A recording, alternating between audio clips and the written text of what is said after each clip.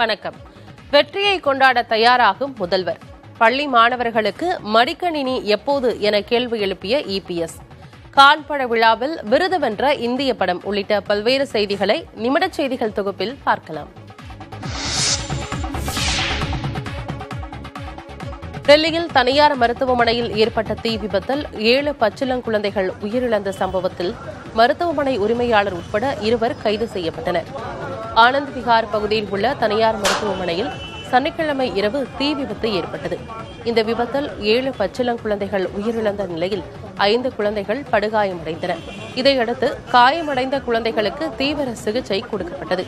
இச்சம்பவம் குறித்து வழக்கு பதிவு செய்த காவல்துறையினர் தலைமறைவாக இருந்த மருத்துவமனை உரிமையாளர் நவீன் கிச்சி விபத்து ஏற்பட்ட போது பணியில் இருந்த மருத்துவர் ஆகாஷ் ஆகியோரை கைது செய்தனர். மருத்துவமனை இயங்குவதற்கான உரிமம் மார்ச் முப்பத்து ஒன்றாம் தேதியுடன் காலாவதியான நிலையில் விதி மீறி செயல்பட்டு வந்தது காவல்துறையின் விசாரணையில் தெரியவந்துள்ளது. மருத்துவமனையில் தீயணைப்பு உபகரணங்கள் அவசர கால வழிகள் இல்லாததும் கண்டறியப்பட்டுள்ளது. இதற்கிடையே உடற்கூராய்வு செய்யப்பட்ட பச்சிளங்குழந்தைகளின் உடல்கள் பெற்றோரிடம் ஒப்படைக்கப்பட்டன.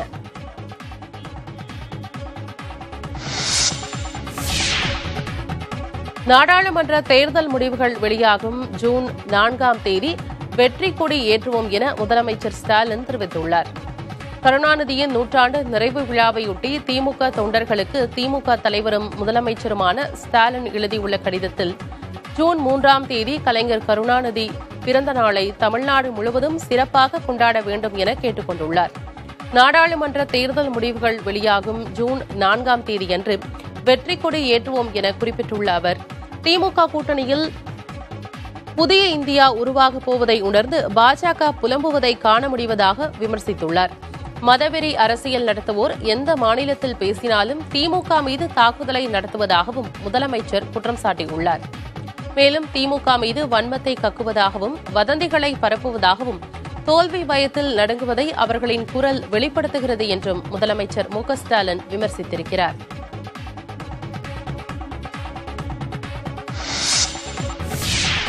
ஜூன் மாதம் புதிய கல்வியாண்டு தொடங்கப்பட உள்ள நிலையில் மாணவர்களுக்கு மடிக்கணினி வழங்கப்படுமா என்ற கேள்வி எழுந்துள்ளது.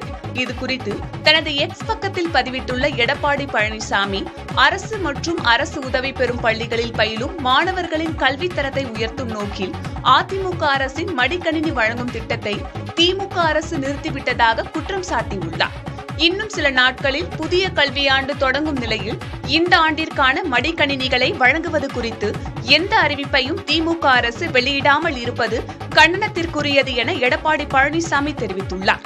மடிக்கணினி வழங்க வேண்டும் என்ற மாணவர்களின் ஒருமித்த எதிர்பார்ப்பை இந்த ஆண்டாவது திமுக அரசு நிறைவேற்ற முன்வருமா என்றும் எடப்பாடி பழனிசாமி கேள்வி எழுப்பியுள்ளார். கர்நாடகாவில் உள்ள அணைகளிலிருந்து காவிரி ஆற்றில் திறக்கப்படும் நீரின் அளவு அதிகரித்துள்ளது. கிருஷ்ணராஜ சாகர் அணைக்கு நீர்வரத்து மூவாயிரத்து நாற்பத்தைந்து கன அடியாக உள்ள நிலையில் அணையிலிருந்து நானூற்று எண்பத்து மூன்று கன அடி உபரி நீர் வெளியேற்றப்பட்டு வருகிறது. நூற்று இருபத்தி நான்கு அடி கொண்ட அணையின் நீர்மட்டம் தற்போது எண்பத்தி இரண்டு அடியை தாண்டியுள்ளது. இதேபோல கபினி அணைக்கு நீர்வரத்து ஆயிரத்து முன்னூற்று நாற்பத்தி இரண்டு கன அடியாக உள்ள நிலையில் அணையிலிருந்து முன்னூறு கன அடி உபரி நீர் வெளியேற்றப்படுகிறது. இதனால் இரண்டு அணைகளிலிருந்தும் காவிரி ஆற்றில் எழுநூற்று எண்பத்து மூன்று கன அடி நீர் திறக்கப்பட்டுள்ளது.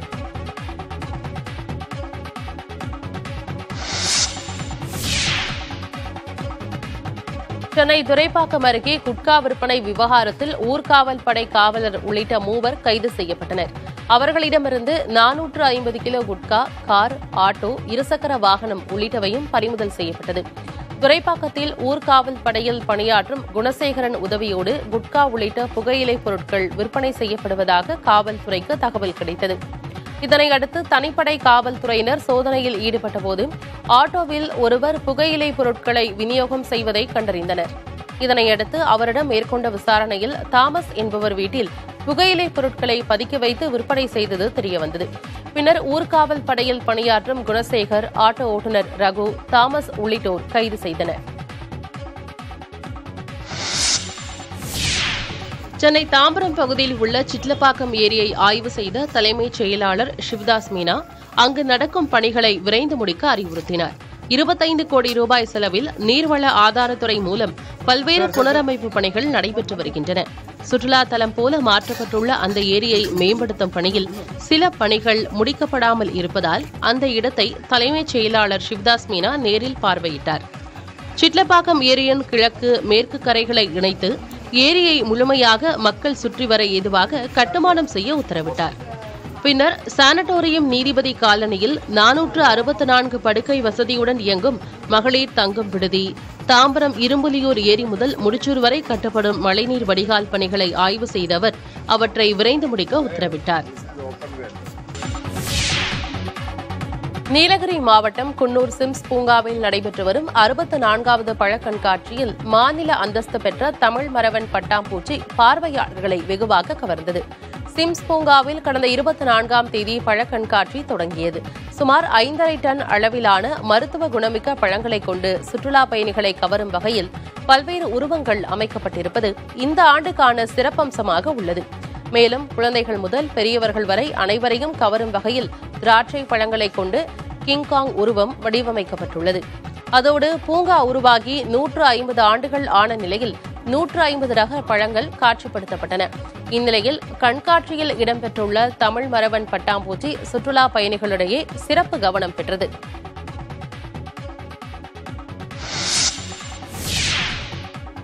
ஒரு பழங்களில் இருக்க வேஸ்ட் அதை வச்சு மட்டுமே நாங்கள் இதை வந்து உருவாக்கியிருக்கோம். அதுவும் இந்த தமிழ் மரவன் வண்ணத்து பூச்சியை செஞ்சதில் அது ஒரு சிறப்பு ஆடட் ஒரு பண்பு. விழுப்புரம் மாவட்டத்தில் டிப்பரில் வைக்கப்பட்டிருந்த சிமெண்ட் மூட்டைகள் சரிந்து விழுந்ததில் அடியில் சிக்கி உயிரிழந்த மேஸ்திரியின் உறவினர்கள் டிராக்டர் உரிமையாளரை கைது செய்ய வலியுறுத்தி சாலை மறியல் செய்தனர். பிரமதேசம் அருகே உள்ள நல்லாம்பாக்கம் கிராமத்தில் சிமெண்ட் சுமையுடன் நின்ற டிப்பரின் பின்புறம் கட்டுமான மேஸ்திரி ஏழுமலை உறங்கியுள்ளார். டிப்பர் உரிமையாளர் அதை டிராக்டரிலிருந்து கழற்றி விட்டதாகவும் அப்போது சிமெண்ட் மூட்டைகள் விழுந்ததில் மேஸ்திரி அதில் சிக்கி உயிரிழந்ததாகவும் தெரியவந்துள்ளது. இதை அறிந்த மேஸ்திரியின் உறவினர்கள் டிப்பர் உரிமையாளர் மாசிலாமணியை கைது செய்ய வலியுறுத்தி ராஜாம்பாளையத்தில் மறியலில் ஈடுபட்டனர். இதனால் திண்டிவனம் மரக்காணம் சாலையில் போக்குவரத்தில் பாதிப்பு ஏற்பட்டது.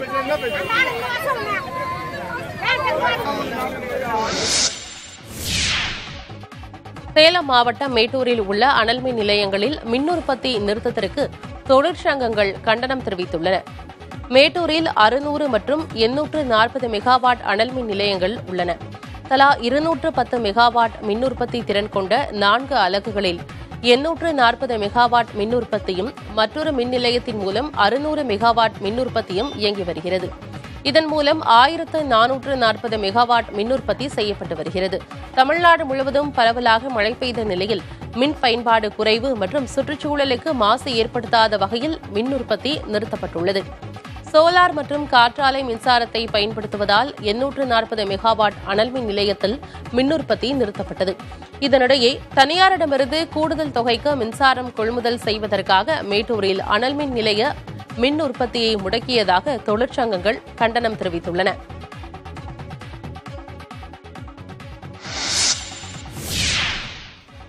பெங்களூருவில் சில தினங்களுக்கு முன்பு நடந்த போதை விருந்து தொடர்பாக நடிகை ஹேமா உள்ளிட்ட ஐந்து பேருக்கு காவல்துறையினர் நோட்டீஸ் அனுப்பியுள்ளனர். பத்தொன்பதாம் தேதி பெங்களூரு புறநகர் பகுதியில் உள்ள பண்ணை வீட்டில் நடந்த போதை விருந்து விவகாரத்தில் நூற்றுக்கும் மேற்பட்டோர் சிக்கியுள்ளனர். இந்த நிகழ்ச்சிக்கு ஏற்பாடு செய்ததாக ஹைதராபாத்தைச் சேர்ந்த தொழிலதிபர் உள்பட ஐந்து பேர் இதுவரை கைது செய்யப்பட்டுள்ளனர். கைதானவர்களின் வங்கிக் கணக்குகளை ஆராய்ந்ததில் பல்வேறு அரசியல் கட்சி பிரமுகர்கள் அவர்களுக்கு நெருக்கமானவர்கள் தொழிலதிபர்கள் திரைத்துறையினர் என பலருக்கும் தொடர்பு இருப்பது வெளிச்சத்திற்கு வந்துள்ளது. இந்த விவகாரத்தில் கர்நாடக காவல்துறையினர் தனிப்படை அமைத்து விசாரித்து வரும் நிலையில் நடிகை ஹேமா உள்பட ஐந்து பேருக்கு காவல்துறை நோட்டீஸ் அனுப்பியுள்ளது. அவர்கள் நாளைக்குள் ஆஜராகி விளக்கமளிக்கவும் காவல்துறையினர் உத்தரவிட்டுள்ளனர்.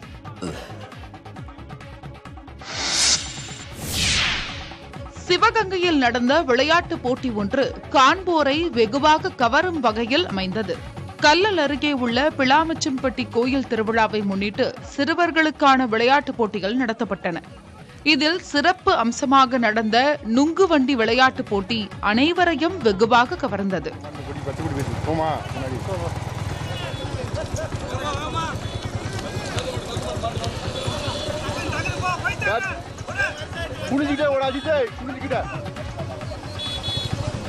தார் சாலையில் குச்சியில் பூட்டப்பட்ட நுங்கு வண்டியை ஆர்வத்துடன் சிறுவர்கள் ஓட்டி சென்றதை அனைவரும் கைகளை தட்டி உற்சாகமாக கண்டு ரசித்தனர்.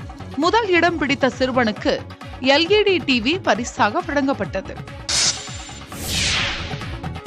பப்புவா நியூகினி நாட்டில் ஏற்பட்ட நிலச்சரிவில் சிக்கி இறந்தோரின் எண்ணிக்கை அறுநூற்று எழுபதாக அதிகரித்துள்ளது. பப்புவா நியூகினி நாட்டில் ஏற்பட்ட நிலச்சரிவில் சிக்கியதில் உயிரிழந்தோர் எண்ணிக்கை அறுநூற்று எழுபதாக உயர்ந்துள்ளது. இதை புலம்பெயர்வோருக்கான ஐநா முகமை உறுதிப்படுத்தியுள்ளது. வெள்ளிக்கிழமை ஏற்பட்ட நிலச்சரிவில் எம்பாலி கிராமத்தில் மொத்தமிருந்த நூற்று ஐம்பது வீடுகளும் சேதமடைந்ததாக ஐநா தெரிவித்துள்ளது. பெரிதும் பாதிக்கப்பட்ட மூன்று கிராமங்களில் சுமார் நான்காயிரம் குடும்பத்தினர் வசித்ததாகவும் சுமார் அறுநூற்று எழுபதுக்கும் மேற்பட்டோர் ஆறிலிருந்து எட்டு மீட்டருக்கு கீழ் மண்ணில் புதைந்திருக்கலாம் என்றும் தகவல் வெளியாகியுள்ளது. பாதிக்கப்பட்ட பகுதிக்கு சென்று கொண்டிருந்ததாகவும் முங்கோலோ என்ற மலை சிதைந்திருப்பதால் அந்த பகுதி விவசாயிகள் குறித்து கவலையடைந்துள்ளதாகவும் ஐநா குறிப்பிட்டுள்ளது.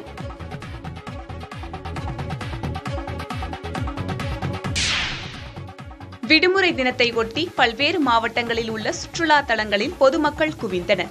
இன்னும் சில தினங்களில் பள்ளி விடுமுறை முடிவடைய உள்ள நிலையில் தேனியில் உள்ள மேகமலை அருவியில் ஏராளமானோர் குடும்பத்துடன் குளித்து மகிழ்ந்தனர். ஆர்ப்பரித்து விழும் தண்ணீரில் நீண்ட நேரம் மகிழ்ச்சியுடன் குளித்து பொழுதை கழித்தனர்.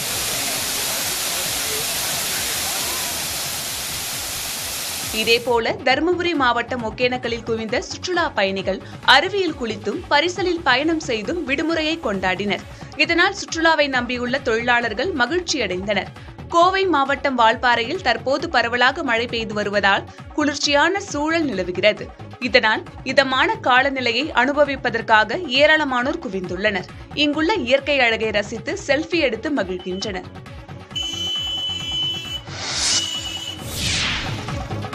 தென் அமெரிக்க நாடான பொலிவியாவில் பாரம்பரிய வருடாந்திர நடன திருவிழா கோலாகலமாக நடைபெற்றது. லாபாஸ் நகரில் நடைபெற்ற இந்த விழாவில் கண்கவர் ஆடைகளை அணிந்தபடி நடன கலைஞர்கள் பாரம்பரிய கிராமிய பாடல்களுக்கு நடனமாடி பேரணியாக சென்றனர். கிறிஸ்தவர்கள் மற்றும் பூர்வக்குடி மக்களின் பாரம்பரியத்தை ஒரு சேர பறைசாற்றும் விதமாக நடத்தப்பட்ட இந்த விழாவில் ஆயிரக்கணக்கான மக்கள் சாலையின் இருபுறமும் திரண்டிருந்து கண்டு ரசித்தனர். கடந்த நூறு ஆண்டுகளுக்கு மேலாக நடத்தப்பட்டு வரும் இந்த திருவிழாவை பொலிவியா அரசு ஏற்பாடு செய்து வருவது குறிப்பிடத்தக்கது. இலங்கையில் அதிபர் தேர்தலின் போது தமிழர்களின் வாக்குகள் கொள்ளையடிக்கப்படுவதாக நமல் ராஜபக்ஷ குற்றம் சாட்டியுள்ளார். இலங்கையில் ஜூலை மாதம் அதிபர் பதவிக்கான தேர்தல் நடைபெறும் என கூறப்படும் நிலையில் பிரதான அரசியல் கட்சிகள் தேர்தலுக்கான பணிகளை தொடங்கியுள்ளன. அந்த வகையில் ஸ்ரீலங்கா பொதுஜன பெரமுன கட்சியின் தேசிய அமைப்பாளரும் மஹிந்த ராஜபக்ஷவின் மகனுமான நமல் ராஜபக்ஷ தனது கட்சியின் நிர்வாகிகளோடு ஆலோசனையில் ஈடுபட்டார். பிறகு செய்தியாளர்களிடம் பேசும்போது அதிபர் தேர்தலில் தமிழ் மக்களின் வாக்குகள் கொள்ளையடிக்கப்படுவதாக குறிப்பிட்டார். வரும் தேர்தலில் மக்களின் பிரச்சினைகளை புரிந்து கொண்ட வேட்பாளரை மட்டுமே ஸ்ரீலங்கா பொதுஜன பெரமுன கட்சி நிறுத்தும் என கூறிய நமல் ராஜபக்ஷ. இந்த தேர்தலில் தமிழ் மக்கள் புத்திசாலித்தனமாக தீர்மானம் எடுக்க வேண்டும் என்றும் கேட்டுக்கொண்டார். ஹாங்காங்கில் நடைபெற்ற ட்ரோன் ஷோ பார்வையாளர்களை பெரிதும் கவர்ந்தது. ஜப்பானை சேர்ந்த கேளிக்கை சித்திரமான டோரேமானுக்கும் அதில் வரும் கதாபாத்திரங்களுக்கும் உலக அளவில் அதிக ரசிகர்கள் உண்டு. ஹாங்காங்கில் வரும் ஜூலை பதிமூன்றாம் தேதி முதல் ஆகஸ்ட் நான்காம் தேதி வரை டோரேமான் கண்காட்சிக்கு ஏற்பாடு செய்யப்பட்டுள்ளது. இந்நிலையில் இதை முன்னிட்டு ஹாங்காங்கின் விக்டோரியா துறைமுகத்தில் ட்ரோன் ஷோ நடைபெற்றது. டோரேமான் மற்றும் இதர கதாபாத்திரங்களின் உருவங்கள் ட்ரோன்கள் மூலம் காட்சிப்படுத்தப்பட்டதை ஏராளமானோர் கண்டு ரசித்தனர். கார்ட்டூன் கதாபாத்திரங்களை வைத்து ட்ரோன் ஷோ நடத்தப்பட்டுள்ளது. இதுவே முதன்முறையாகும்.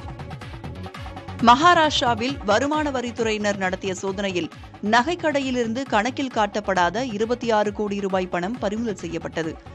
நாசிக்கில் உள்ள நகைக்கடை ஒன்றில் சட்டவிரோத பணப்பரிமாற்றம் நடைபெற்று வருவதாக வருமான வரித்துறைக்கு தகவல் கிடைத்தது. இதனையடுத்து அக்கடைக்கு சென்று வருமான வரித்துறையினர் சோதனை நடத்தினர். சோதனை முடிவில் கணக்கில் காட்டப்படாத இருபத்தி ஆறு கோடி ரூபாய் பணத்தையும் தொன்னூறு கோடி ரூபாய் மதிப்பிலான சொத்து ஆவணங்களையும் வருமான வரித்துறை அதிகாரிகள் பறிமுதல் செய்தனர். தொடர்ந்து இந்த பணம் குறித்து சம்பந்தப்பட்ட நகைக்கடையின் உரிமையாளரிடம் அதிகாரிகள் விசாரணை மேற்கொண்டு வருவதாக தகவல்கள் கிடைத்திருக்கிறது.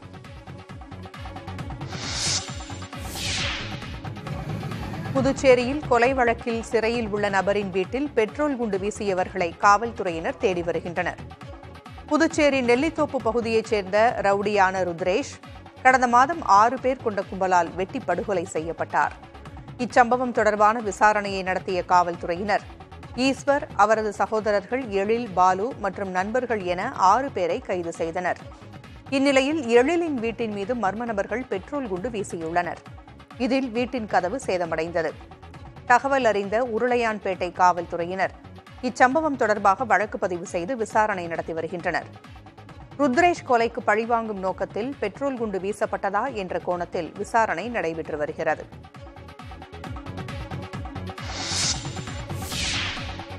சென்னையிலிருந்து கேரளா சென்ற ரயிலில் அத்துமீறி ஏறிய இளைஞர்கள் பயணி ஒருவரை தாக்கியது அதிர்ச்சியை ஏற்படுத்தியுள்ளது. அலப்பி விரைவு ரயிலில் ஈரோடு நிலையத்தில் ஆறு இளைஞர்கள் முன்பதிவு பெட்டியில் அத்துமீறி ஏறியுள்ளனர். இதனையடுத்து அங்கிருந்த கழிவறைக்கு அருகே சென்று நடனமாடியும் பாடல் பாடியும் பயணிகளை தொந்தரவு செய்துள்ளனர்.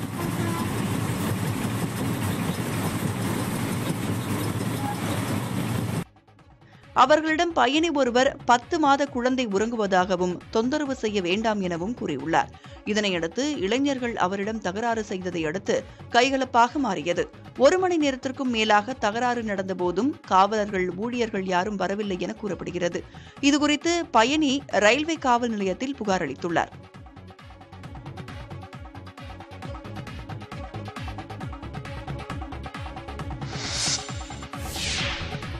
நீலகிரி மாவட்டம் கூடலூரில் பிடிப்பட்ட சிறுத்தை அடர்ந்த வனப்பகுதிக்குள் விடப்பட்டது. சேமுண்டி பகுதியில் உள்ள வீட்டிற்குள் சிறுத்தை புகுந்தது. சுமார் ஒன்பது மணி நேர போராட்டத்திற்கு பின் சிறுத்தையை வனத்துறையினர் மைக்கோசி செலுத்தி பிடித்து முதுமலைக்கு கொண்டு சென்றனர். சிறுத்தையின் உடலில் காயங்கள் இருந்த நிலையில் உடல்நிலையை வனத்துறையினர் கண்காணித்து வந்தனர். சிறுத்தை நல்ல உடல்நிலையில் இருப்பது உறுதி செய்யப்பட்டதை அடுத்து முதுமலை புலிகள் காப்பகத்திற்கு உட்பட்ட சீகூர் அடர் வனப்பகுதிக்குள் சிறுத்தை விடுவிக்கப்பட்டது. கூண்டிலிருந்து வெளியே வந்த சிறுத்தை எவ்வித ஆக்ரோஷமும் காட்டாமல் அமைதியாக நடந்து வனப்பகுதிக்குள் சென்றது. ராமேஸ்வரம் மீன்பிடி துறைமுகத்தில் கடல் நானூறு மீட்டர் தூரம் வரை உள்வாங்கியதால் மீனவர்களின் படகுகள் தரை தட்டின. ராமநாதபுரம் மாவட்டத்தின் ராமேஸ்வரம் பாம்பன் தனுஷ்கோடி உள்ளிட்ட பகுதிகளில் கடந்த மூன்று நாட்களாக கடல் சீற்றம் நிலவி வருகிறது. இச்சூழலில் ராமேஸ்வரம் மீன்பிடி துறைமுகம் ஓலைக்குடா சங்குமால் உள்ளிட்ட பகுதிகளில் இருநூறு முதல் நானூறு மீட்டர் தூரம் வரை கடல் உள்வாங்கியுள்ளது. இதனால் கரையோரத்தில் நிறுத்தி வைக்கப்பட்டிருந்த சில நாட்டு படகுகள் தரை தட்டின. மேலும் அப்பகுதிகளில் பவளப்பாறைகள் நட்சத்திர மீன்கள் உள்ளிட்டவை வெளியே தெரிந்தன. இதனிடையே தனுஷ்கோடியில் முகுந்தராயர் சத்திரத்திற்கும் பழைய தேவாலயத்திற்கும் இடையிலான கடற்கரை பகுதியில் அறுநூறு மீட்டர் தூரம் கடலரிப்பு ஏற்பட்டுள்ளது. இதனால் கடலில் மூழ்கியிருந்த கான்கிரீட் குழாய்கள் வெளியே தெரிந்து வருகின்றன.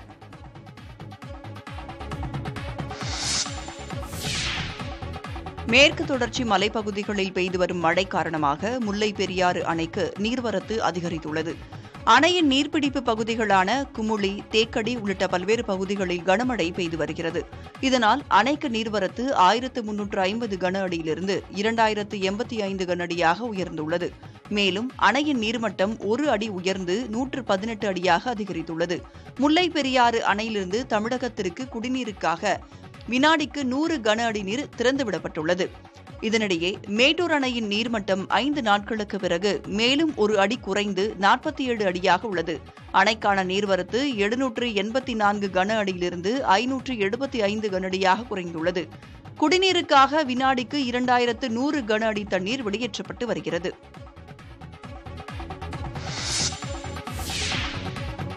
கடலூர் மாவட்டம் நெய்வேலியில் இனங்காண முடியா வகையில் உயிரிழந்தவரின் உறவினர்கள் நீதி கோரி போராட்டத்தில் ஈடுபட்டனர். கீழக்கொல்லை கிராமத்தைச் சேர்ந்த ராஜ்குமார் என்பவர் மதுபோதையில் வாகனம் ஓட்டியதாக கூறப்படுகிறது. இதையடுத்து வாகன சோதனையில் ஈடுபட்டிருந்த காவல்துறையினர் அவரை நெய்வேலி காவல் நிலையத்திற்கு அழைத்துச் சென்றுள்ளனர். பின்னர் அவர் மீது மதுபோதையில் வாகனம் ஓட்டியதாக வழக்கு பதிவு செய்யப்பட்டு அவரது இருசக்கர வாகனம் பறிமுதல் செய்யப்பட்டுள்ளது. இதையடுத்து காவல் நிலையத்திலேயே வாகனத்தை விட்டுவிட்டு புறப்பட்ட அவர். சென்னை கும்பகோணம் தேசிய நெடுஞ்சாலையில் படுகாயத்துடன் இறந்து கிடந்திருக்கிறார். தகவல் அறிந்த காவல்துறையினர் ராஜ்குமாரின் உடலை கூராய்விற்காக கொண்டு செல்ல முயன்றனர். அப்போது அவரது உறவினர்கள் ராஜ்குமார் மரணத்தில் ஐயம் இருப்பதாக கூறி ஆம்புலன்ஸை சிறைப்பிடித்து போராட்டத்தில் ஈடுபட்டனர். அவர்களிடம் பேச்சுவார்த்தை நடத்திய காவலர்கள் இந்த விவகாரத்தில் உரிய விசாரணை நடத்தப்படும் என்று உறுதியளித்தனர். அதன் பின்னர் உடற்கூராய்விற்கு உடல் கொண்டு செல்லப்பட்டது.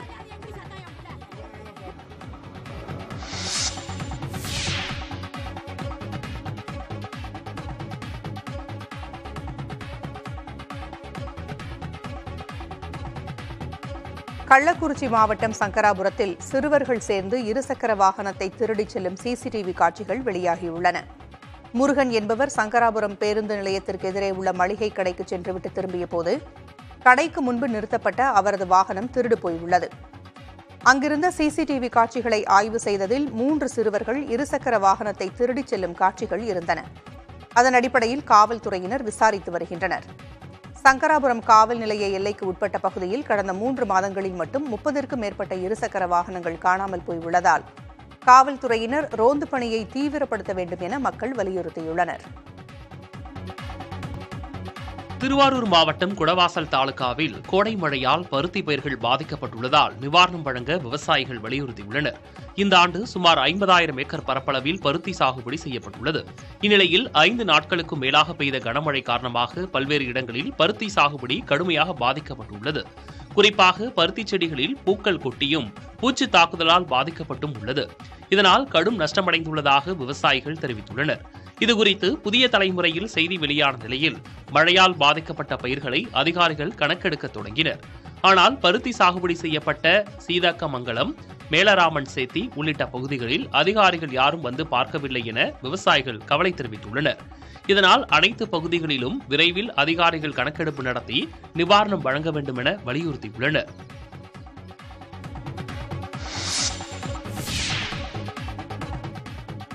நாமக்கல் மாவட்டம் ராசிபுரத்தில் வழக்கறிஞரை தாக்கிய குடும்பத்தாரை காவல்துறையினர் வலுக்கட்டாயமாக தூக்கிச் சென்று கைது செய்யும் காட்சிகள் வெளியாகியுள்ளன. நிலத்தை வாங்குவது தொடர்பாக ராமசாமி மாணிக்கம் ஆகியோருக்கிடையே தகராறு இருந்து வந்துள்ளது. இந்நிலையில் மாணிக்கத்தின் வழக்கறிஞரான பாலாஜி என்பவரை ராமசாமியும் அவரது மகள்களும் சேர்ந்து தாக்கியுள்ளனர். இதில் காயமடைந்த பாலாஜி மருத்துவமனையில் சிகிச்சை பெற்று வருகிறார். இதுகுறித்து வழக்கறிஞர் அளித்த புகாரின் பேரில் ராமசாமி மற்றும் அவரது மகள்களை காவல்துறையினர் கைது செய்தனர். அப்போது காவல்துறை வாகனத்தில் ஏற மறுத்ததால் அவர்களை வலுக்கட்டாயமாக தூக்கிச் சென்ற காட்சிகள் தற்போது வெளியாகியுள்ளன.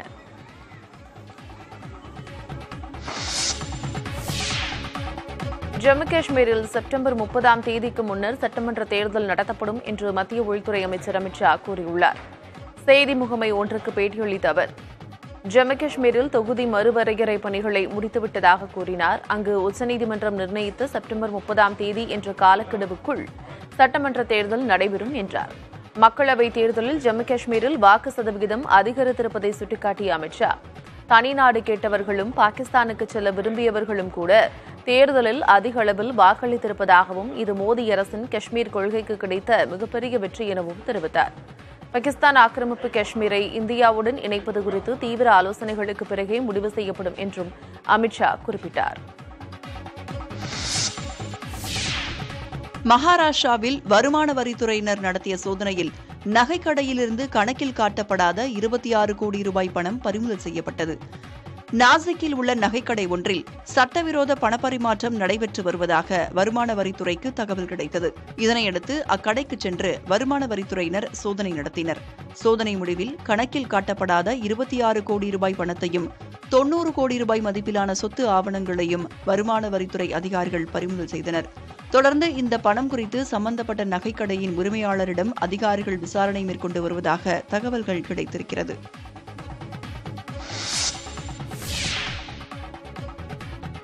புதுச்சேரியில் கொலை வழக்கில் சிறையில் உள்ள நபரின் வீட்டில் பெட்ரோல் குண்டு வீசியவர்களை காவல்துறையினர் தேடி வருகின்றனர். புதுச்சேரி நெல்லித்தோப்பு பகுதியைச் சேர்ந்த ரவுடியான ருத்ரேஷ் கடந்த மாதம் ஆறாம் தேதி ஆறு பேர் கொண்ட கும்பலால் வெட்டி படுகொலை செய்யப்பட்டார். இந்த சம்பவம் தொடர்பான விசாரணை நடத்திய காவல்துறையினர் ஈஸ்வர் அவரது சகோதரர்கள் எழில் பாலு மற்றும் நண்பர்கள் என்று ஆறு பேரை கைது செய்தனர். இந்த நிலையில் எழிலின் வீட்டின் மீது மர்ம நபர்கள் பெட்ரோல் குண்டு வீசியுள்ளனர். இதில் வீட்டின் கதவு சேதமடைந்தது. தகவல் அறிந்த உருளையான்பேட்டை காவல்துறையினர் இந்த சம்பவம் தொடர்பாக வழக்கு பதிவு செய்து விசாரணை நடத்தி வருகின்றனர். ருத்ரேஷ் கொலைக்கு பழிவாங்கும் நோக்கத்தில் பெட்ரோல் குண்டு வீசப்பட்டதா என்ற கோணத்தில் விசாரணை நடைபெற்று வருகிறது. இலங்கையில் பெய்து வரும் மழையால் ஏழு பேர் உயிரிழந்தனர். நாற்பத்தி ஐந்தாயிரத்துக்கும் மேற்பட்டோர் பாதிக்கப்பட்டுள்ளனர். தென்மேற்கு பருவமழை தொடங்கியுள்ள நிலையில் இலங்கையில் தொடர்ந்து கனமழை பெய்து வருகிறது. கண்டி நுவரெலியா மன்னார் உள்ளிட்ட பகுதிகளில் மழை பெய்து வருவதால் தாழ்வான பகுதிகளில் தண்ணீர் தேங்கியுள்ளது. மேலும் நீர்நிலைகளில் தண்ணீர் வரத்து அதிகரித்துள்ளது. கடல் கொந்தளிப்புடன் காணப்படுவதால் மறு அறிவிப்பு வரும் வரை மீனவர்கள் கடலுக்கு செல்ல வேண்டாம் என அறிவுறுத்தப்பட்டுள்ளது. மழையால் பாதித்த மக்களை பாதுகாப்பான இடத்தில் தங்க வைக்க அதிகாரிகள் நடவடிக்கை எடுத்துள்ளனர். இலங்கையில் உள்ள வவுனியா மாவட்டத்தில் ரயில் மோதிய விபத்தில் தாய் யானை உயிரிழந்தது. குட்டி யானை படுகாயமடைந்தது. கனகராயன்குளம் பகுதியில் இரண்டு யானைகள் ரயில் தண்டவாளத்தை கடக்க முயன்றுள்ளது.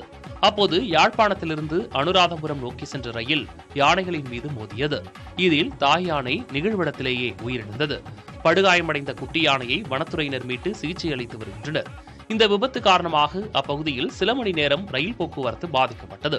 இலங்கையில் கடந்த இரண்டாயிரத்து பதினைந்தாம் ஆண்டு முதல் தற்போது வரை ரயில் மோதிய விபத்தில் நூற்று மூன்று யானைகள் உயிரிழந்துள்ளது குறிப்பிடத்தக்கது. இஸ்ரேல் ஹமாஸ் படைகளுக்கு இடையே நடைபெற்று வரும் போரில் உயிரிழந்த பாலஸ்தீனர்களின் எண்ணிக்கை முப்பத்தைந்தாயிரத்து தொள்ளாயிரத்து மூன்றாக உயர்ந்துள்ளது. கடந்த இருபத்தி நான்கு மணி நேரத்தில் மட்டும் இஸ்ரேல் ராணுவத்தினர் நடத்திய தாக்குதலில் குழந்தைகள் உட்பட நாற்பத்தாறு பாலஸ்தீனர்கள் உயிரிழந்துள்ளனர். நூற்று முப்பது பேர் காயமடைந்துள்ளதாக பாலஸ்தீன் அரசு தரப்பில் தெரிவிக்கப்பட்டுள்ளது. இதுவரை எண்பதாயிரத்திற்கும் மேற்பட்டோர் காயமடைந்துள்ள நிலையில் பாதிக்கப்பட்டவர்களுக்கு தேவையான மருத்துவ உதவிகளை செய்வதும் மீட்புப் பணிகளை மேற்கொள்வதும் சவாலாக இருப்பதாக பாலஸ்தீன சுகாதாரத்துறை தரப்பில் தெரிவிக்கப்பட்டுள்ளது. இதற்கிடையே ராக்கெட்டுகள் மற்றும் ட்ரோன்கள் மூலம் வான்வழி தாக்குதல்களில் இருதரப்பு வீரர்களும் தொடர்ந்து ஈடுபட்டு வருகிறார்கள். கடந்த ஆண்டு அக்டோபர் முதல் இஸ்ரேல் ஹமாஸ் படைகளுக்கு இடையிலான போர் நடைபெற்று வரும் நிலையில் இஸ்ரேலுக்கு ஆதரவாக அமெரிக்கா உள்ளிட்ட பல்வேறு நாடுகள் துணை நின்று வருகின்றன. ராஃபா பகுதியில் இருந்து ஒன்பது லட்சத்து ஐம்பதாயிரத்துக்கும் மேற்பட்ட பாலஸ்தீனர்கள் அங்கிருந்து வெளியேறி உள்ளதாக இஸ்ரேல் ராணுவம் தரப்பில் தெரிவிக்கப்பட்டுள்ளது.